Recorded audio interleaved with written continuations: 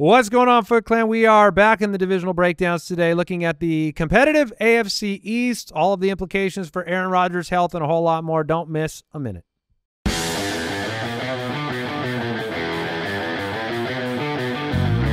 Welcome to the Fantasy Footballers Podcast with your hosts, Andy Holloway, Jason Moore, and Mike Wright.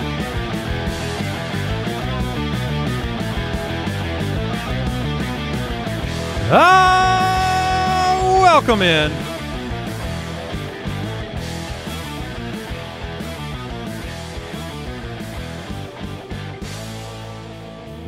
Saturday episode.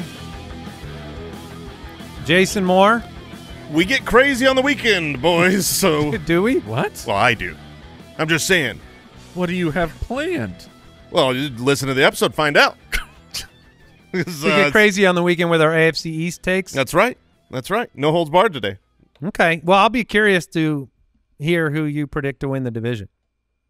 So You're, you're not curious who I predict to lose and finish last in the division? I'm not as curious about that. No. I You're locked in for third, guys. oh, you want to find out who we we have have? Jason's Yeah. Jason's third place pick. We I, I had Kyle do the math for last year. One point per correct prediction mm-hmm. in each division. I didn't know what the results were going to be, but I kind of, you know, you kind of know. I ended up winning last year's competition, so I have something to repeat. You did. Well, It I- was, it's tough. It's tough to uh, to nail these down because there's a there's a Houston every year. yeah, and, and it, it won't be the Patriots, but um, I do think that whoever is number one in this division, I, I don't know your guys' rankings here, but that it's very interesting, a very tight division. We like to keep these competitive, and the truth is, on this show when we do these divisional breakdowns, it's like I don't hear from people on Twitter about, "Oh, cool, you picked my team to win the division." I just hear from the fans of the team that has to end up at the bottom and how dumb we are. I think you only hear that when it's a top to bottom difficult division, right? Like- we didn't hear it with Tennessee. No, that's fair. You know, I heard it about Cincinnati we're not because gonna the we're not gonna hear it with the Patriots. So we're talking AFC East today. I'd like you to believe in the back of your mind that I might pick them to win the division. I just want you to think that. Uh, um, last year, Jason and I were apparently perfect in this division on the Buffalo, Miami, New York, New England order. So we'll see if that ends up being. You perfectly projected the demise of Aaron Rodgers. Then Yeah, Jason and I had some inside Yeah. information. well, I I was I was a little sad if you if you rewind the tape. I, I was 'Cause devastated you- by the Oh. I know why. Yeah. Yeah, because I I believed Aaron Rodgers was already done. Like from his final season in Green Bay. Yeah, you were a- predicting a, a subpar year, and now you didn't get to see it. right. Well, I mean, it was a pretty bad year. Yeah, but a different kind of Yes. subpar. Yes. Um, you wanted a selfish victory lap. Yeah, and I'm not going to victory lap on an injury, so um, You're a man of principle. Yeah, now it's funny because now I want to root for him just to come back, like to to you know come back from the wait. injury. I don't think it's going to happen, but like now that he he had the devastating Wait, year, he's an underdog now, so you're on Yes! his side. Yeah, well, I'm I am betting against the man, but I'm rooting for him. You could do that. I don't even know what that means. yeah, but then you're like rooting against yourself to to lose. That's tough. Well, I mean, we're going to talk about How does one it. do that? I root for him to lose every day. a lot of therapy, Mike. Uh, UltimateDraftKit.com. Go check it out. Draft Analyzer live right now, and uh, you can jump in there, check out all of our tiered rankings, and a ton of tools and resources. Get your team graded. Import your mock drafts. See how you did. this is the time of year as well. Like obviously we've got our tiered rankings there. That's how you want to draft is from tiers. But this is the time of year where you've you've you know your draft probably isn't tomorrow, and so you can watch all the player profile videos. It's like getting you know hundred more hours of of this show just talking about every single player. It's a great way to prep. All right, quick question of the day before we jump into the AFC East divisional breakdown. I think it's a fun one. Uh, as of right now, looking at where the landscape is in fantasy and where players are going, what's the who's the player you're most scared to take?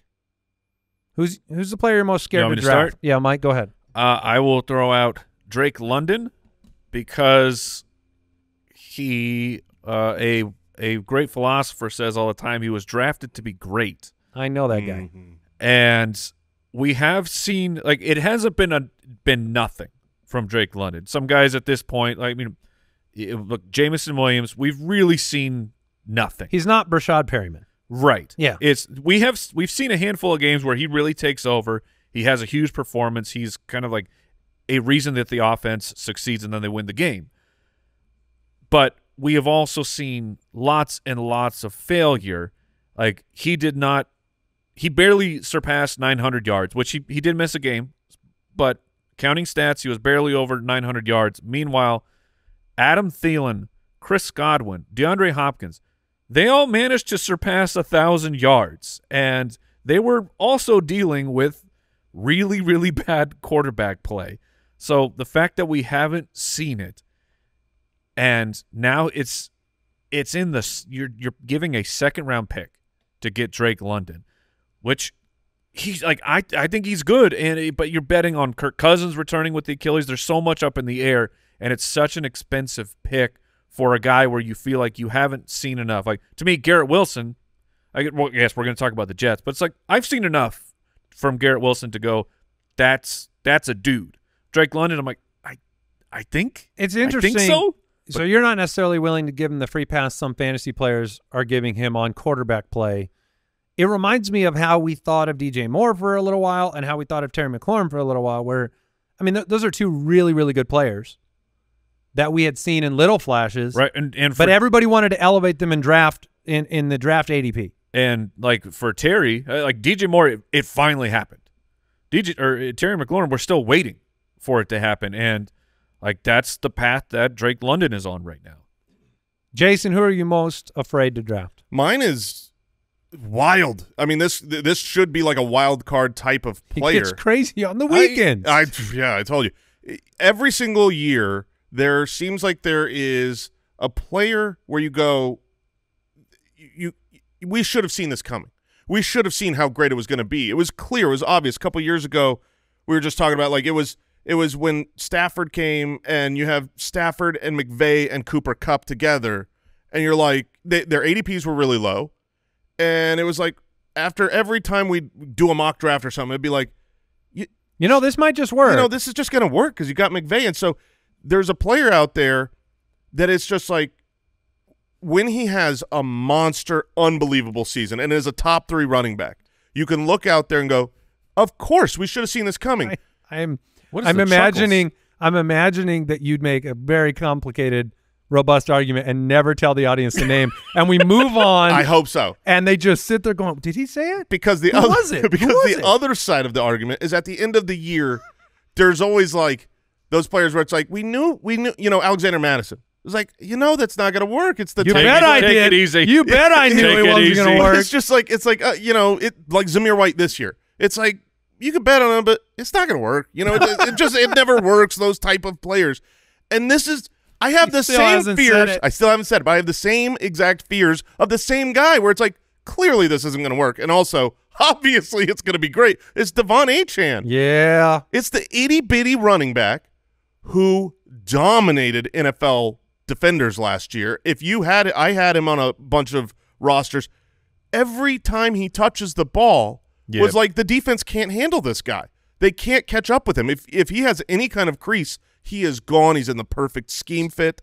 and you have to spend for him in drafts, so it it, it stands to reason you'd be afraid I'm to waste the pick. I'm terrified. So he's going right now as the running back eight, oh my gosh. uh, which Oh, I, wa- I want. you Achane- ready to spend? And, and- but hold on, I just want to give you so top ten, the, the top ten running backs. This was the average of opportunities it took that Oh, got these guys let's in the top it. Oh ten. no. Two hundred and forty attempts Okay. and sixty six targets. that was the average. That's the average for of top the, 10? of the top ten. Now, of course, look, I mean, you got Christian McCaffrey taking that thing to the limit, but but it's an average of the top ten, and he's being drafted as that. Three hundred and six opportunities, and De'Von Achane's not the guy who needs three hundred opportunities, obviously, because he uh, like where did he he was in I was about to see his per finished- game average of he finished opportunities. t- top 24 last year with 100 attempts for, for 800 yards and 37 targets. So what a rough about 140 opportunities. Yeah. If, if you look when it's he came, twelve point seven per game in the games he played. Did you take out the two games where he was like five percent? No, Kyle- I didn't. Kyle said 15.1 opportunities in nine full games. Oh, there you go. So it's just it will I, I Will want Will he stay hold- healthy, will and then that's 250. will Right. he get all those opportunities? What where Raheem Mostert's great, at least it was last year. Will his body hold up to those opportunities? he does not need those opportunities. If he gets 250 opportunities, which was kind of what he was pacing Yeah, as a rookie, yeah. he will absolutely return. It's will he stay healthy? And the thing is, is I want Achane on my roster. Like I'm in. I'm willing to pull the trigger. But I really want him as my second running back. And he's not. He's You the able RB8. You can't do it. So you've got to rely on a guy that is so dicey as your first running back off the board. It just Well- feels fragile. There, there was a Oh, time. that's because it is Jason. There was a time that Austin Ekeler felt that way. Okay, Yeah. to give you the like, you know, should be obvious but wasn't obvious, and it's players that at the running back position don't fill the prototypical mental image of what you have in a workhorse back, and Achane is that guy. He's small, yes, but when you go and watch the film, I went back and watched a bunch of highlights from De'Von Achane. He bounces off of guys, great balance. He doesn't. He goes between the tackles. Um, it's not like he goes down on first contact. Like there are attributes to the player, regardless of the size, that make you think it. I mean, I could see Uh, your yeah, face. I You're mean- like, I'm back in. Yeah. No, I don't I don't know if I'm in or out. I am just scared. So you'll be looking for him to drop. You'll you'll you'll want to take advantage if other people are scared too. Yeah, I need to scare people off so that I can have them. oh man, because you love him, I do. I do. but you love Mostert too. I know you've talked about that this offseason at the value. You love Raheem Mostert, Yeah, I mean the last year's running back two going in like what is it, the eighth round or seventh, something. eighth round. Yeah, Seems a little like the pendulum swung too far. I'll take the low hanging fruit. That is almost an inverse of Achane to me. Achane hyper efficient, been banged up, lower Hype, opportunities, hypo. hyper, hyper. No, I'm saying what's the the opposite though. Oh, I see what you're saying. This is a Oh, thyroid that would be joke. yeah. I think- I think it is. I think it's a hypo uh hypo efficient. It, was, Um, it was just you know it was just a passing comment. Shouldn't be just analyzed. just a little prefix joke. Come on, that's the good stuff. that is the good That's why they listen. Thank you, Did Um, I at least get it right? Josh Jacobs. Don't check. Okay, fine. I will I will answer. Yes, you did. I knew it. With I Josh Jacobs, inefficient is the word you're looking for. uh, please be quiet, Al. Hypo hypo efficient. We All are right. trying to analyze these he players. was a efficient. Josh Jacobs should work, can work, great team, big money, feels scary. Because what you saw over the year last year was inefficiency. 47% of the time over 10 and a half points, which is our metric for consistency for a running back. That's sub 50%, obviously not what you want if you're spending a high pick. Ended with an injury, 3.5 a carry. Didn't look like the player that led the AFC in rushing the year before. So But that, that- that's but- what defines a scary pick to me is you go into the season not in love with last year's film, but in love with all the externals. I'm saying at least when he went down, his backup, who had not really started any games, came in and looked terrible. Not true. That Yeah. is Strong ending for Zamir White. um, and, and there's some, you know, he was late to camp. Fat Thor. Fat Thor. Uh, I don't know if that was everything. It was a tough season. For the quarterback position, they rotated through. the fact that like Fat Thor was just So he was It- hypo efficient. that was Fat Thor was such a throwaway joke that just Yeah, it shouldn't have worked, No, man. I was so mad at it too, because I had Josh Jacobs, and I was like, "Stop it!" Like Yeah, stop the fat I was like, he, he just negotiated a contract. He's not fat. He's not gonna be slow. and then I dressed up as Josh Jacobs for Halloween Yeah, in a fat kept, Thor it, it kept on. It kept on. So look, I know you agree that Josh Jacobs is kind of Oh, a terrifying pick. Yeah, he is. I, you know, there's a world like he's already done it. He could be a top three running back. Yes. He could get the kind of work on it. And what do we want? We want a team that's going to win ball games, an Yep. offense that we like, a quarterback that we like. He's got all those. He's got AJ Dillon behind him. We love that. Yeah. Yeah. Well, no. He's got mean- Marshawn, Marshawn Lloyd behind yeah. him. Fair. We'll see if Dillon makes the team. Oh, how's that feel? How'd that sentence feel? Hey, feels bad. What could, what what could have been? Uh, we'll take a quick break. We'll get into the AFC East.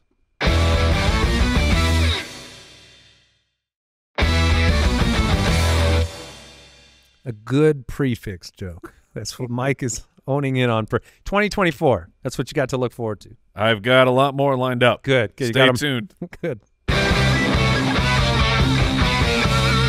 Let's get divisional. All right, we are on our third divisional breakdown episode. We're in the AFC right now. We're looking at the AFC East. It's a fun division to talk about.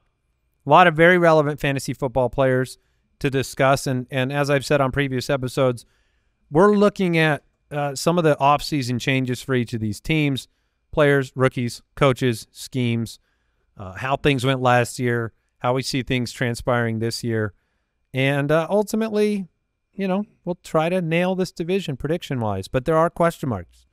And we'll start with the team that has won four consecutive AFC East titles, the Buffalo Bills. And they still got it done last year. Um, Miami, same record. Buffalo ends up with the division title. They lost to the Chiefs. Uh, the struggle right now in Buffalo is like, is the clock, you know, is, is time running out for Buffalo on this championship window because the money that they're spending for Josh Allen is only going to continue to increase. His cap hit jumps from 30 to 60 next year. And and his cap hit has already hurt the team. Their defense, they've lost some pieces there for fantasy purposes. It's really, really interesting what's going to be necessary from this Buffalo Bills offense. They're going to need to put up even more points than ever, and they've got Josh Allen to do it. I didn't see anything that said he's going to slow down, but they lost so many weapons. They have the second most vacated targets in the league. I think there is a slight lack of confidence in the offense continuing to be the predictable provider of fantasy points that it has been in the past. Now, last year they're projected. Vegas had them at ten and a half wins. They go eleven and six. This year it's at ten and a half again. Um, you know they they had the offensive coordinator change. That was a pro a, a really key moment for this team where we saw Stefon Diggs fade into uh, irrelevance Yeah. for an important part of your fantasy season. Um, and they stopped throwing the football. I mean, with Ken Dorsey for weeks one through 10, um, yards a game, they were seventh, but they threw the ball the 13th most, uh, eighth in points per game. Those numbers stuck. They were scoring a ton of points after the transition to Joe Brady, but the passing percentage dropped down to 31st in the league. It was the James Cook experience. Um, a lot of plays per game. They went six and one. They finished on a roll. And uh, so, is this a new identity? Like, how predictive is, you know, a seven game sample when, you know, this team they made investments in the in the draft, bringing in Keon Coleman, Curtis Samuel. Do we do you see a balance, or do you see them trying to run back what got them to six and one over the back half? I think you're going to see them try to run it back, especially when you look at what they did personnel wise. Um, you know, letting Stefon Diggs go. They they took Stefon Diggs from the focal point of this offense to a more ancillary, almost irrelevant piece of the offense during those last few games. They won those games, and then they said, "Hey, let's let's get more of this short area work." Uh, you know, Dalton Kincaid's going to step up. Curtis Samuel has worked with Joe Brady before. I think Curtis Samuel is the the number one target uh, in the wide receiver room here uh, in 2024, and so I think they're going to try to do more of the same, which to me just means like the way that I statted out the Bills when I took a look at the changes, the splits last year, the personnel. I think this is going to be a running back and tight end team. I think they are going to have a lot of short passes, a lot of um, you know, get the ball out quick, and you know, I, I'm I'm in love with both James Cook and Dalton Kincaid, and I'm not really into most of the other pieces. So let, let me bring something up then, because we've talked about the transition that Patrick Mahomes has made in Kansas City with the offense over the last few years. His average depth of target has changed tremendously.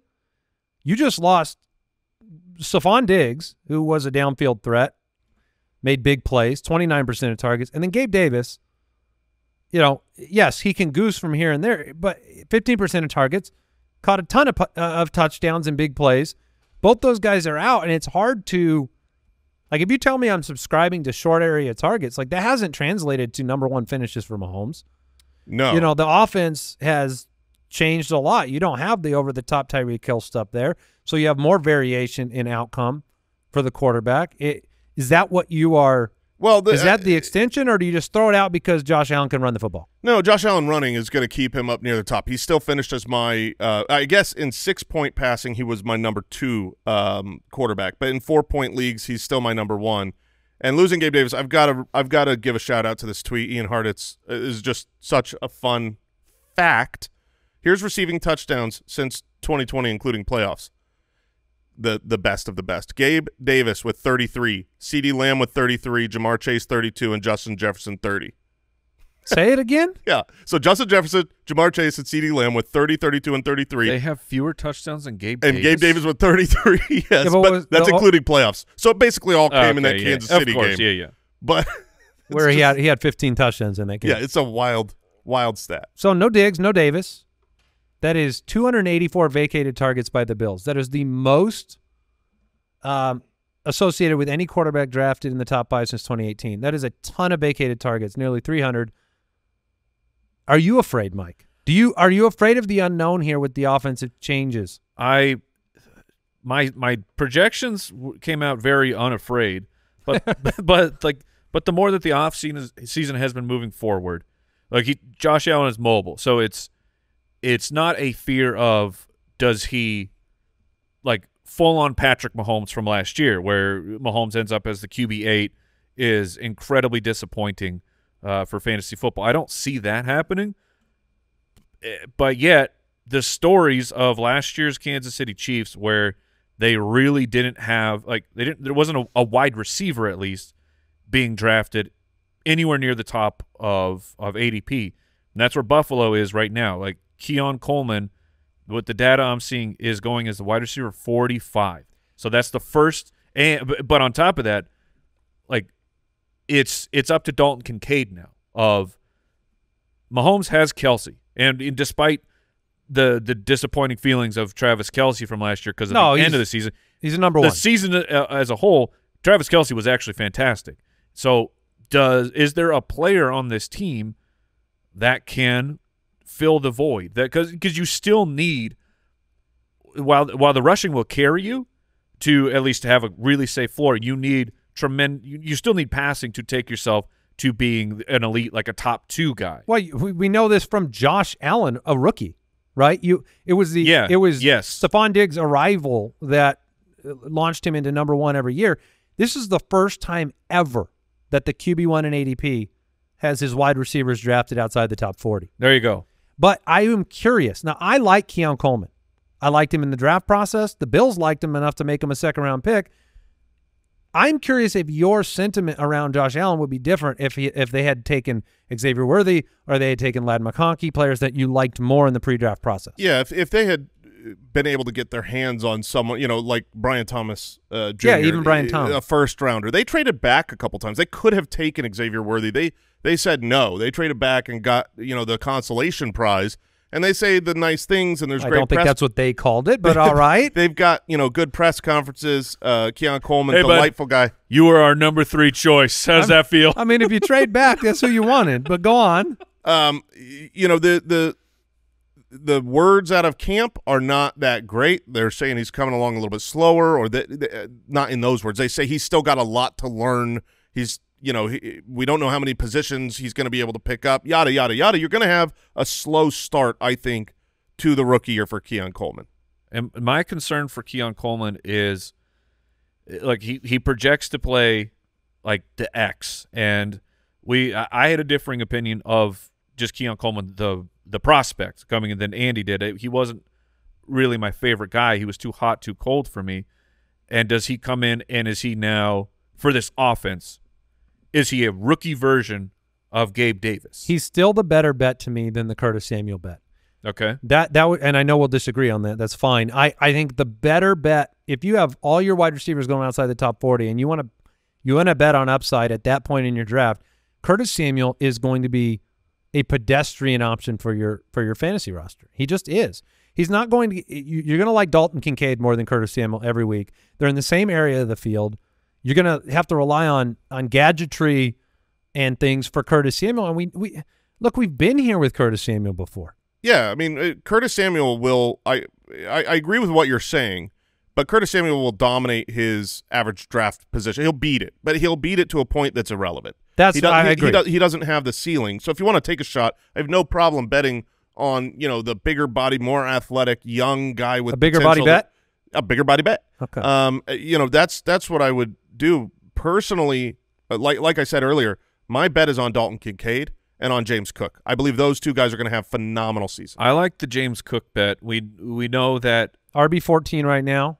That So, and look in, A lot of picks behind De'Von Achane that you mentioned earlier. Last year finished as the running back eleven. and he was a a huge part of the offensive philosophy shift when they made the offensive coordinator change.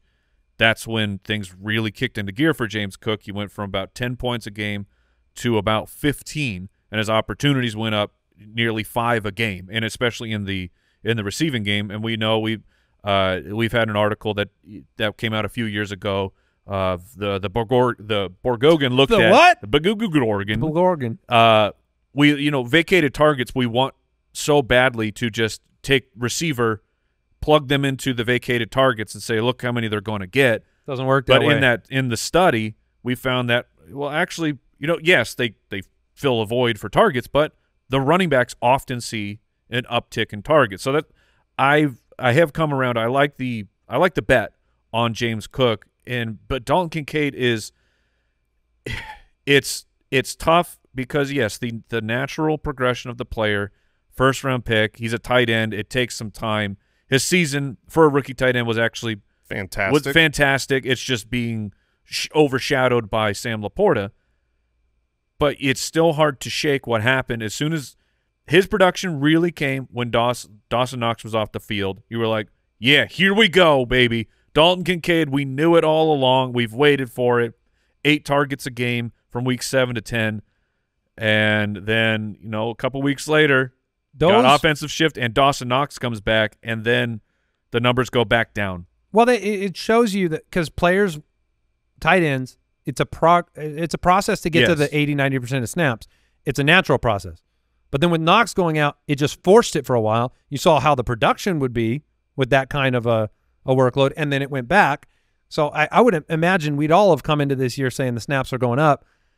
I think he has just as much potential to be in the Trey McBride conversation as McBride does. I mean, I, it's a huge opportunity. Yeah, Josh Allen's a better quarterback than Kyler Murray, and you know Trey McBride can't be the number one target for Kyler. He just can't. Marvin Harrison's going to be the number one target. Dalton right now, Kincaid- you're saying Kincaid's the guy. I'm saying D- Dalton He Kincaid can be, yeah. should or could be the number one target for Josh Allen and the Bills. So I I'm completely in on him, and he doesn't cost as much as trying to chase LaPorta's double digit rookie touchdowns. And then going back to James Cook, this is the running back 11 last season, who's being drafted as the running back 14, has way more opportunity. They relied on him more when this coordinator shift happened, and he only had two touchdowns last there's year. no competition. That- he had two touchdowns, so it's like y- you that's don't. the ha- that's the problem with him. that's the problem with him, absolutely. But he's there's no way he plays 17 and doesn't get at least two, right?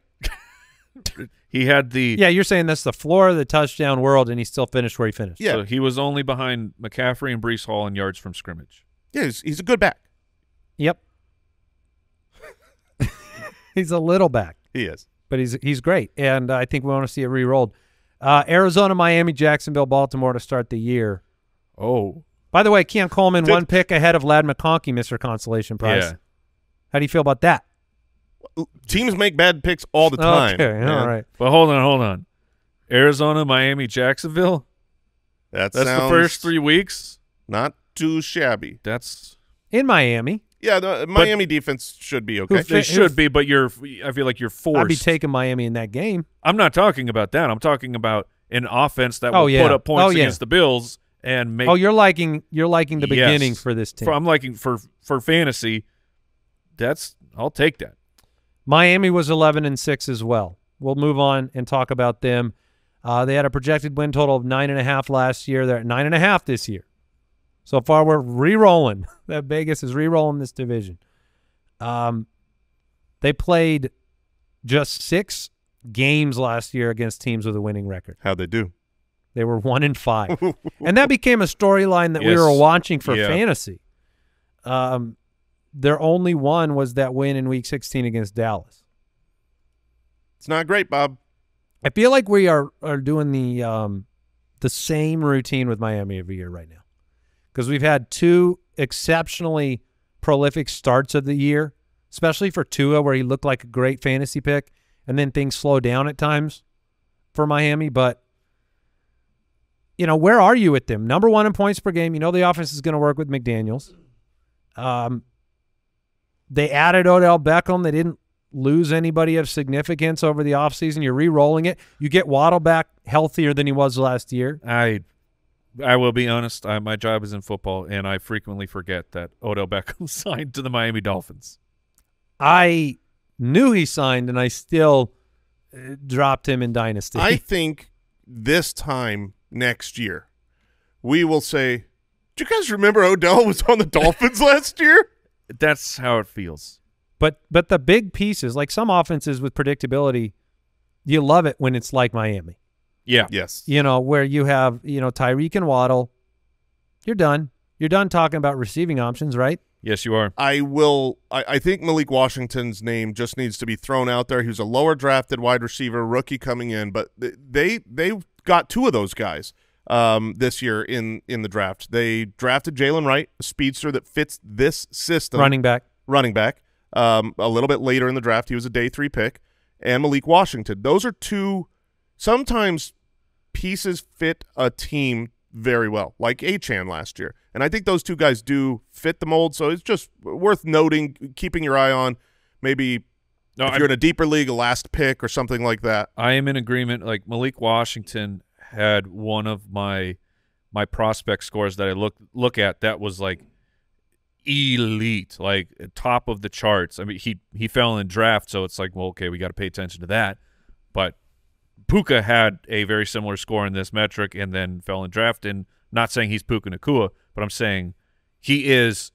He's not a player that is going to do anything if both of these guys are healthy.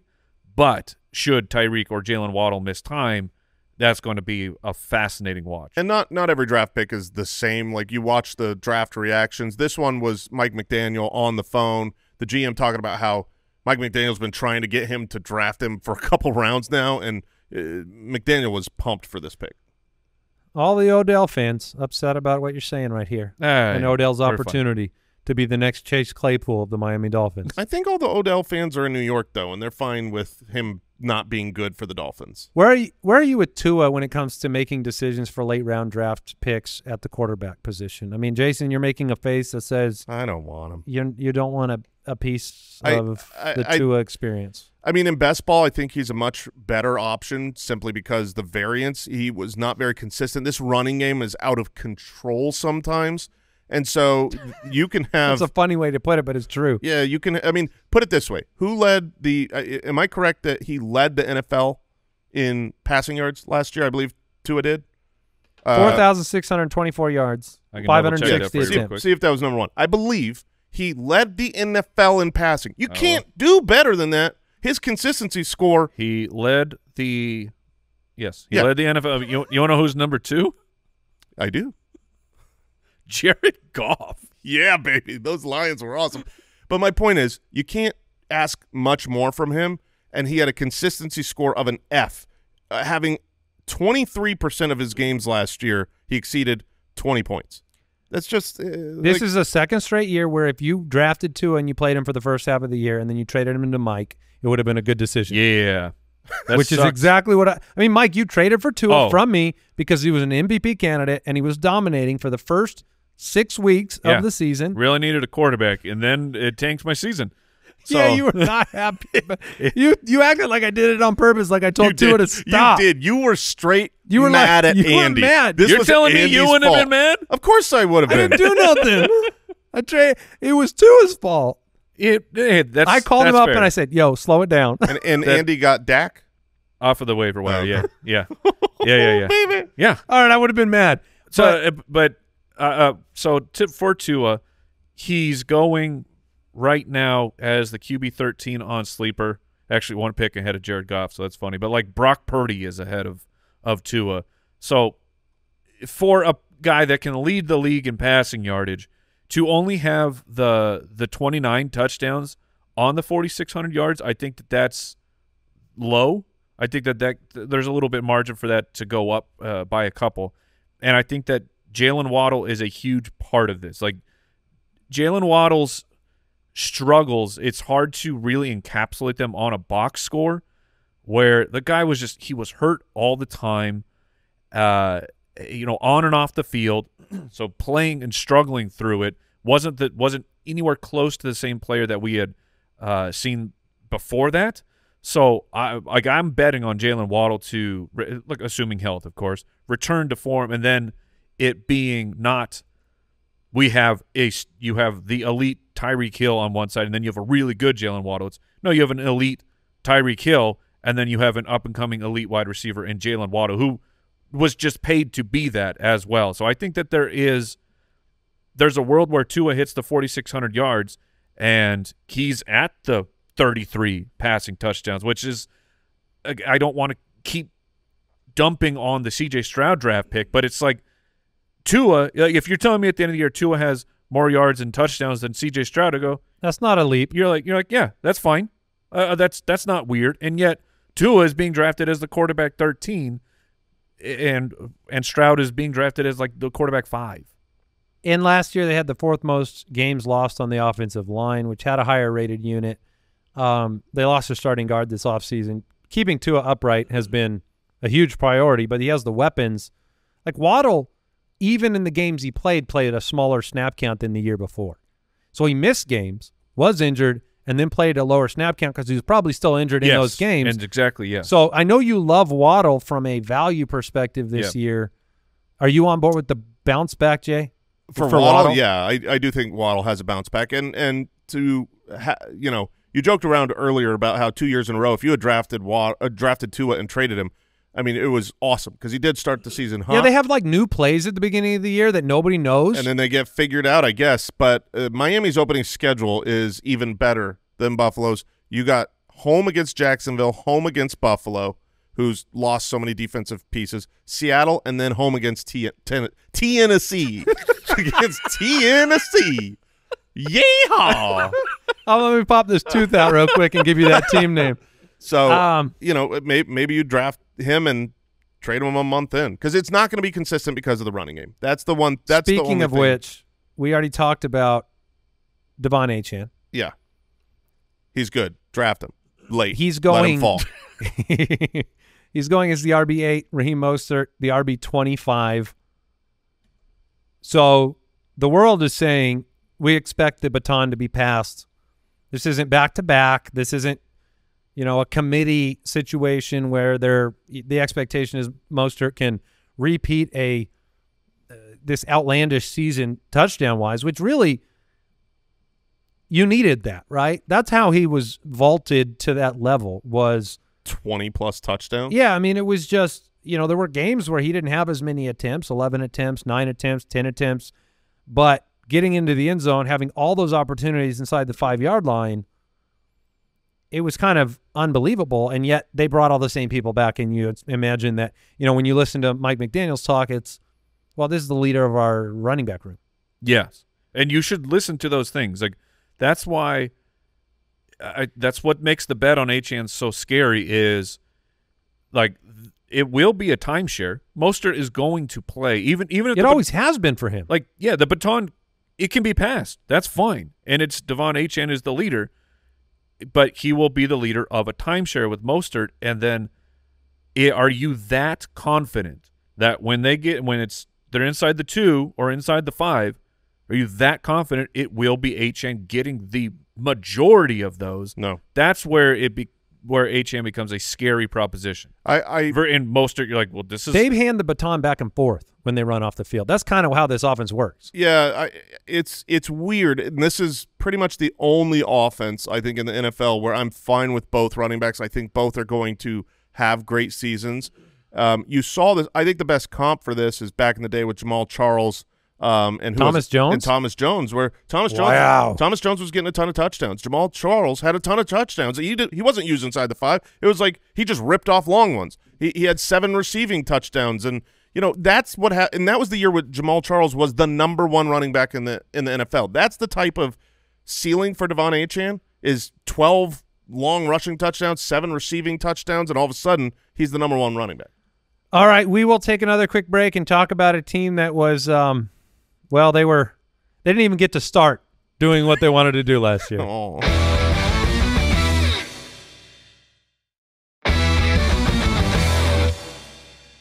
All right, as we continue through the AFC East, we reach the New York Jets Oh boy. with the grittiest seven and ten season you've ever had.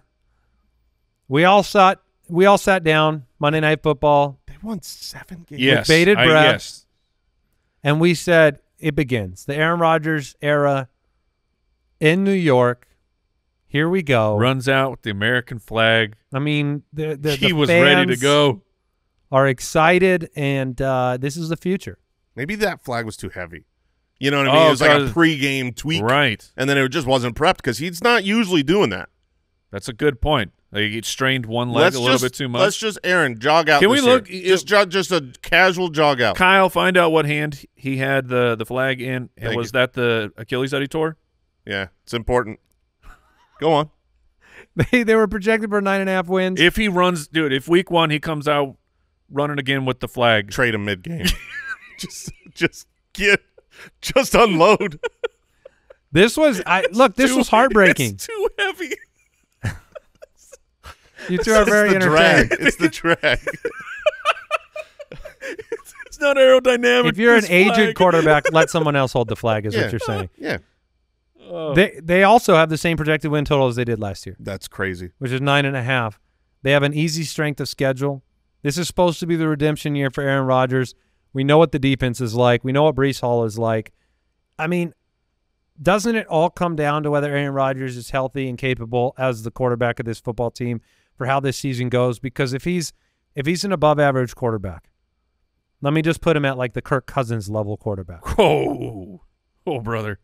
Then this team is going to win a ton of football games, right? Yes. They have they, have uh, an incredible wide receiver who we haven't seen the full uh, the full you know potential of in Garrett Wilson because he hasn't had somebody that can give him the football. But this is so make or break, and it feels like you are every bet you make on an offensive player when you draft them in fantasy for the Jets is a bet on Aaron Rodgers. It doesn't feel like you can e- e- escape that reality. Yeah, there's there's at least a break glass in case of emergency with Tyrod Taylor, which is a significant backup upgrade this year. But you're He's still always hurt too. I mean, every time he takes over as a backup, he gets hurt, and you get the third string. Yeah, uh, who who is this? Uh, who's third string? We're gonna need that it. It's a rookie, I believe. But um, yeah, I mean, it, it- you know, Garrett Wilson would be worse with Tyrod Taylor. But th- honestly, this is what is scary to me about drafting Garrett Wilson, who is almost my, you know, who scares me to draft pick. Okay. Uh, um, just because I'm not as confident that Aaron Rodgers at age 40, off an Achilles tear, will be great. Now, can he manage the game and get wins? Absolutely. I think he's going to be very good for the Jets if he's, you know, healthy. How many passing touchdowns did they have last year? I deleted it out of our show doc so you can't cheat. But do you know the answer to this, Man, I'm going to guess 13. Mike? You want to take a shot? That's so low. I'm and I'm high, I'm sure. I think uh, I'm gonna go. Let's go eleven. It's 11. Oh, It's 11 passing touchdowns. that's How is that possible? It feels it feels almost impossible. And 7 of the 11 were inside the 10, which means there were 4 passing touchdowns that were outside the 10-yard line for a football team that plays 17 weeks. 29th in points per game.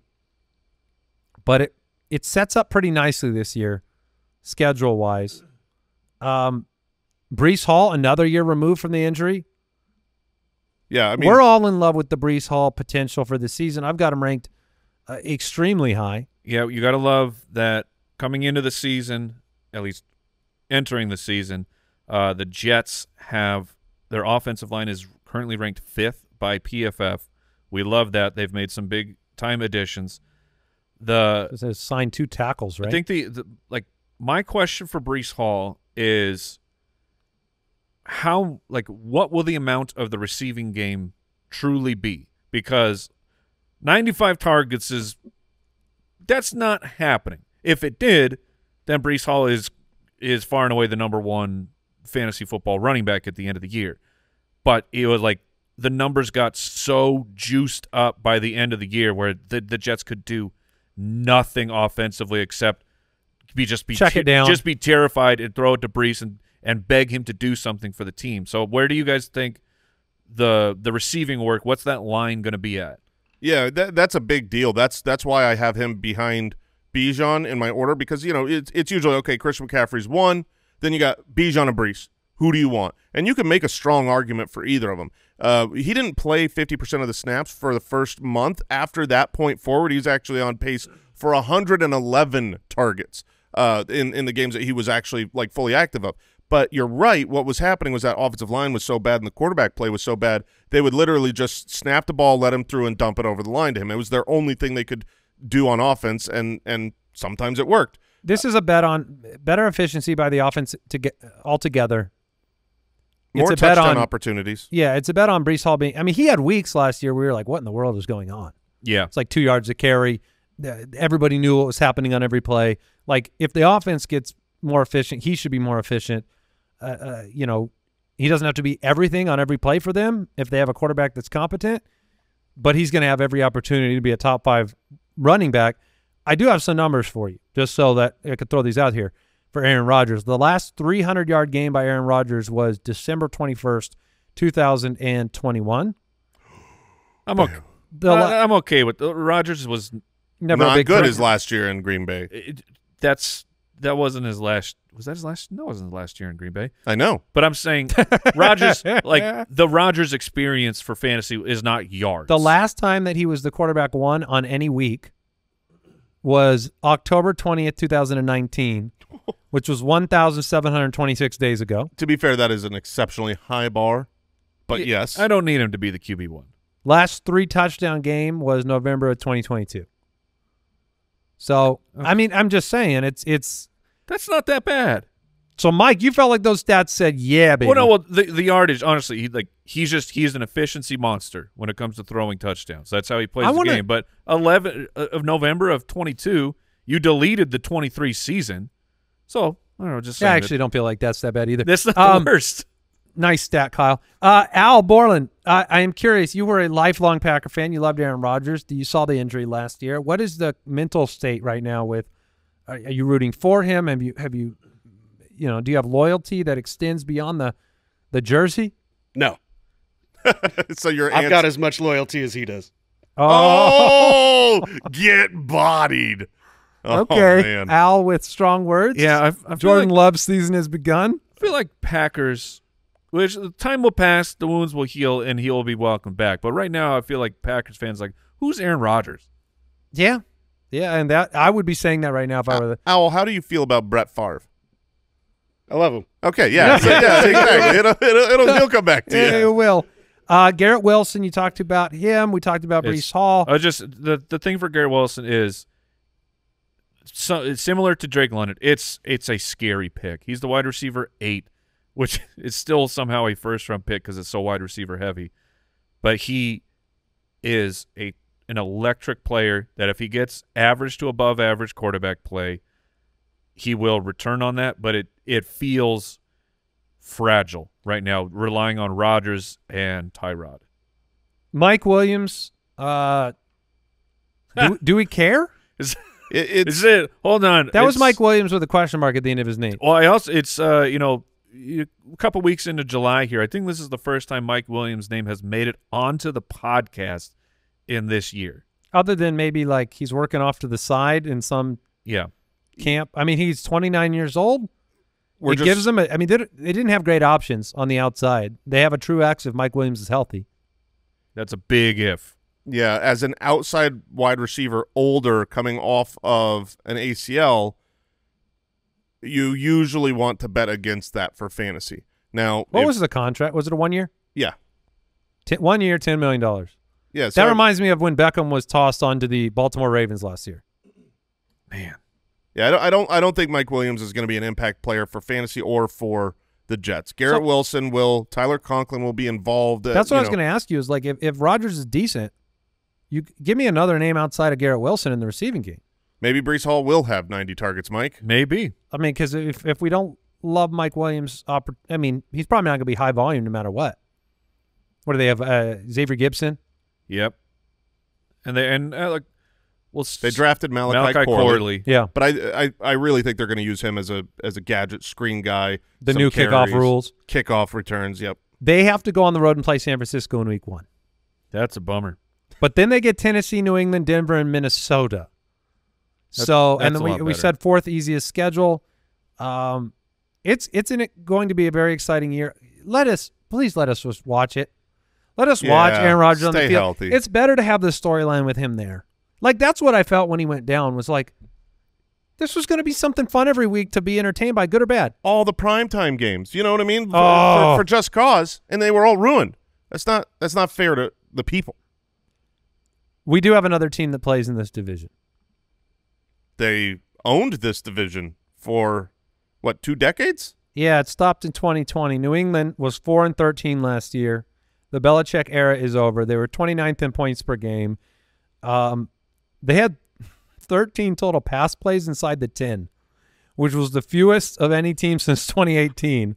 That stat is no, that's im- insane. No way. I read it and I was like, I shouldn't read this out loud we need because we need there's to no way that's check right. that stat. That's insane. Their projected win total last year was seven and a half. This year, do you know where it is?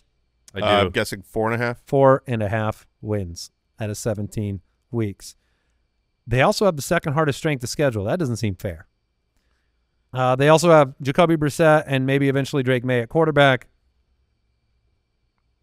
Didn't score a lot of points last year. Probably going to score more this year. Possibly going to score more this Thank year. Okay, you, thank okay, you, thank yeah. you, thank you. That was a very nice. The division change. is just brutal. This is like being tossed into the, you know, AFC North, which we just went over, that has four competitive teams, and then just not being at that stage of your development where you can do it. Yeah, Um, you, you you've got you've got a bad setup for offense. Rookie quarterbacks aren't usually great for fantasy. Rookie quarterbacks are almost always bad for the receiving options. Eventually, Drake Maye will take the field. This is a team that's projected to win four and a half games. Jacoby Brissett is not coming in here and going to have them seven and one through eight weeks and hold off the rookie. So that means the majority of the season will be Drake Maye. He is set up a little bit for failure with his wide receiver room. a lot of names you know, but not a lot of names you want. I mean, unless some of these rookies, uh, if Ja'Lynn Polk has a great season, a breakout, you know, looks more like an Anquan Boldin, okay, there's hope there. There's there's avenues where you could talk yourself into it. But the majority of these wide receivers, they're all wide receiver threes in the NFL. I don't even think they have a wide receiver two. I think Ja'Lynn Polk can become that, but as a rookie, he's more of like what should be a, a, an NFL team's wide receiver three. fantasy value on the roster will be the the difficult situation for fantasy managers in the draft. You you always bring a a, a 4 and 13 season into the next season's draft. It always happens. That's why Houston players were in uh, you know way down the ADP uh, board last year. It's going to happen in New England. You've got Rhamondre Stevenson who just got paid. And and We're he- in there. I yeah, I mean that's that's the only To what piece- degree? He's a that's- tw- it's RB 22 right now. Yeah, I, I'll bet he beats that. I think he, but it not he's not going to smoke that. You know, this is like running back 18. So it's like okay, if you if you need a running back two, and you're in the sixth, maybe even seventh round, uh, you know he'll he'll fall there. Then it, that's a that's a fine pick. Is that it? Is there a world where that's it? There is definitely a world where that's it. I would say the the the probable world is that's it. There are cases you can make for Antonio Gibson or Hunter Henry or or you know Demario Douglas. Maybe he steps up, but uh, the the probably it's that's it. Rhamondre Stevenson check out. I think I've gone through the full cycle of, of trying to be optimistic about this roster and then realizing that it's probably not going to happen. And then when you look at the opening schedule, you going to beat Cincinnati and Cincinnati in week one? No, You going to beat Seattle? I mean, that's at home Maybe. maybe. going to go to New York and then you're going to go to San Francisco. Ooh, brother. So one and three is probably your Sounds- best case scenario to start the uh, Jerod Mayo, Mayo era. Yeah, I was gonna say. Uh, it looks to me like Drake Maye will be starting week five. Do you think that the Jets, Dolphins, and Bills fans, how many years of this do they need to feel better to feel about like- what they went through? At least a decade. You've got to go through A full ten years. Yeah, you got to you got to have 10 years to where you just don't really remember anymore. Okay. Um. Yeah, the projected win total four and a half. and a tough schedule, so I- um, I think they're the- underdogs in every game this year based on Vegas lines. I think the most interesting thing about this team, like if I'm like, what are the what are the cool storylines? Well, like what is interesting? What am I fascinated to find out? I am just fascinated to find out which wide receivers make the roster. It's just there's so Sure. many. There are so many wide receivers here, and they can't all make the roster. Well, and it's like I see Ja'Lynn Polk and Demario Douglas and Kendrick Bourne and Javon Baker, and then they got KJ Osborn and Don't forget about Juju. Juju's there, and then uh, Thornton. Oh yeah, second round pick. Yeah, Eh, he may not. no, I mean most of these guys won't be there, but it's like it's just uh, you wanna you wanna try to predict this division? I do. This one is tough. Oh, it's soup's easy for me. Okay, it's You- not tough. Go ahead. You want me to go first? yeah, Dolphins win the division. I think they've got the best roster on both sides of the uh, the field. Um, Bills are going to be second. The Jets, great defense. I don't believe in the offensive weapons. Patriots last. I have the Jets winning the division. Okay. And when you when you look at the Ve- Spicy. when you look at it's not that spicy. They, They, are won seven games. they are dude. the second highest odds to win the division. They have higher odds to win the division than Miami does. Ooh, I need to go Um, bet Miami. So, bu- you know, then I have Buffalo.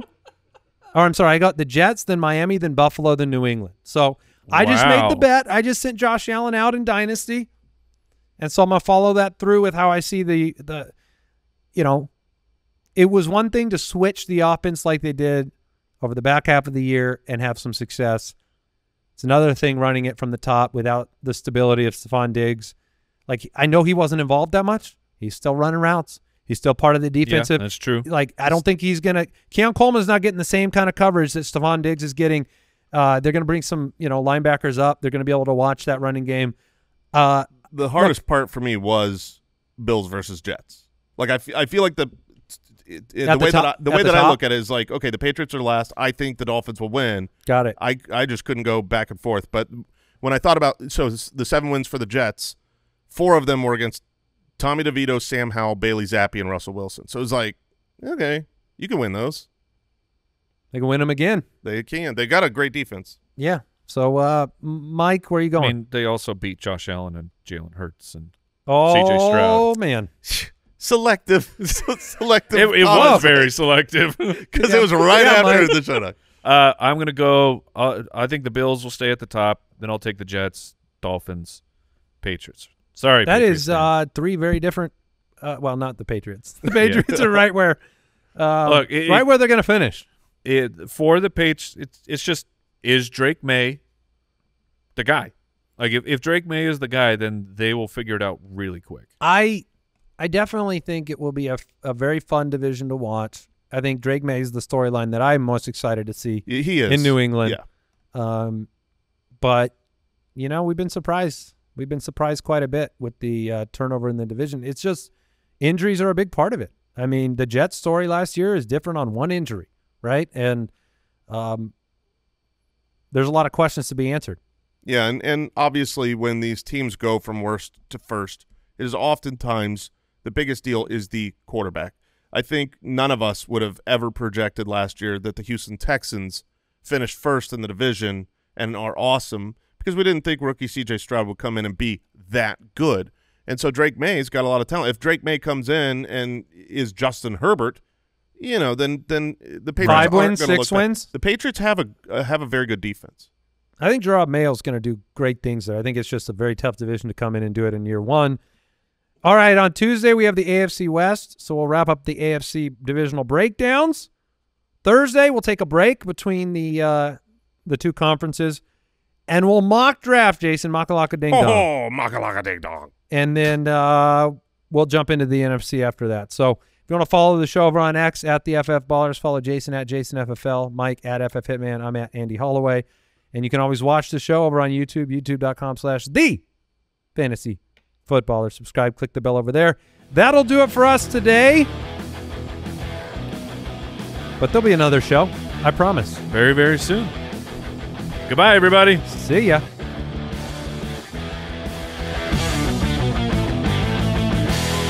Thank you for listening to another episode of the Fantasy Footballers Podcast. Join our fantasy football community on jointhefoot.com and follow us on Twitter at the FF Ballers.